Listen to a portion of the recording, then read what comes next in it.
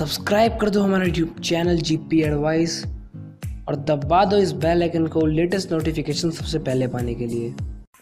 नमस्कार दोस्तों, आप सभी का हमारे आपके चैनल जीपी एडवाइस में बहुत स्वागत है। तो दोस्तों, आप में से बहुत सारे क्लास टेंथ और ट्वेल्थ स्टूडेंट ने मेरे से क्वेश्चन पूछा था कि, सर, कौन सी बुक से बोर्ड एग्ज़ाम क्वेश्चन पेपर बन के आता है? कौन सी बुक हम परचेज करें? तो दोस्तों, आपके सभी क्वेश्चनों का आंसर इस वीडियो में दूँगा।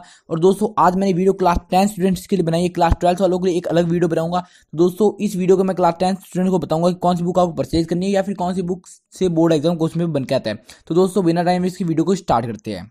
तो दोस्तों, वीडियो स्टार्ट करने पहले मैं आपको बताना चाहूँगा कि हम ये वीडियो एग्जामिनर से पूछ के ही बना रहे हैं। इस वीडियो में हम जो भी बुक्स बताएँगे, वो हम सभी, सारी बुक्स एग्जामिनर से पहले हमने पूछी है, उसके बाद में ही हम ये वीडियो बना रहे हैं। तो दोस्तों, बिना टाइम इसकी वीडियो को स्टार्ट करते हैं।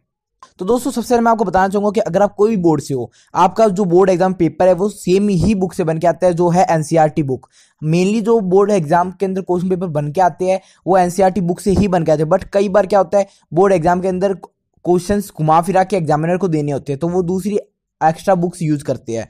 वो भी वेरीफाई बुक या फिर जो गुड या फिर कोई गुड राइटर हो गए, या फिर जो बड़े बड़े राइटर्स होते हैं, उनकी बुक्स यूज़ करते हैं। जैसे कि ओसवाल हो गई एग्ज़ाम आइडिया हो गई, यही दो बुक्स है जो वेरीफाइड है सीबीएसई के द्वारा तो उन्हीं से ही बोर्ड एग्ज़ाम क्वेश्चन पे बन के आते हैं। अगर आप प्रिपरेशन करने को कोई बुक खरीदना के बारे में सोच रहे हो तो आप एग्ज़ाम आइडिया या फिर ओसवाल खरीद सकते हो। बट अगर आपके घर पे कोई भी बुक पड़ी है तो आपको कोई दूसरी बुक परचेज करने की ज़रूरत नहीं है, क्योंकि जो बोर्ड एग्ज़ाम का मेनली क्वेश्चन पेपर बन के आता है, वो एनसीईआरटी बुक से ही बन के आता है तो आप उससे स्टडी कर सकते हो। बट अगर आप कोई नई बुक खरीदने के बारे में सोच रहे हो तो आप एग्ज़ाम आइडिया या फिर ओसवाल खरीद सकते हो। और दोस्तों, एक बात ध्यान रखना, ये दोनों बुक्स आप स्टोर से ही खरीद कर ऑनलाइन मत परचेज करें क्योंकि ऑनलाइन ये बुक्स बहुत मत महँगी मिलेगी। तो दोस्तों, इस वीडियो में इतना ही। अगर आपको हमारी वीडियो अच्छी लगे तो प्लीज़ वीडियो को लाइक करना, अपने सारे फ्रेंड्स से शेयर करना, जिससे उनको पता लग सके कि बोर्ड एग्ज़ाम में क्वेश्चन पेपर कौन सी बुक से बन के आता है, या फिर कौन सी बुक उन्हें परचेज करनी चाहिए प्रिपरेशन करने के लिए।